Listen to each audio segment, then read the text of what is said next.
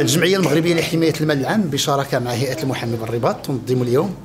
آه، ندوة آه، حول قضية آه، أساسية ومهمة يتعلق الأمر بمكافحة الفساد وتخليق منظومة العدالة. بحيث أن السلطة القضائية والقضاء كما تعلمون يلعب دور أساسي ومهم في مكافحة الفساد والرشوة وتخليق الحياة العامة. ولا يمكن قضاء الفساد والتصدي للرشوة مع آه، وجود منظومة للعدالة وبيئة آه، محتضنة للفساد والرشوة. وبالتالي فاتفاقية الأمم المتحدة لمكافحة الفساد المادة 11 من الاتفاقية تجعل من دور السلطة القضائية في مكافحة الفساد دورا محوريا وأساسيا.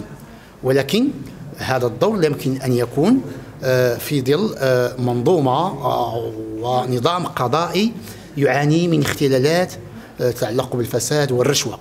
وأنتم تعرفون على آه، الخوف وانعدام آه، الإحساس بالأمن وبالطمأنينة يكون لما تكون هناك بيئة حاضنة للفساد.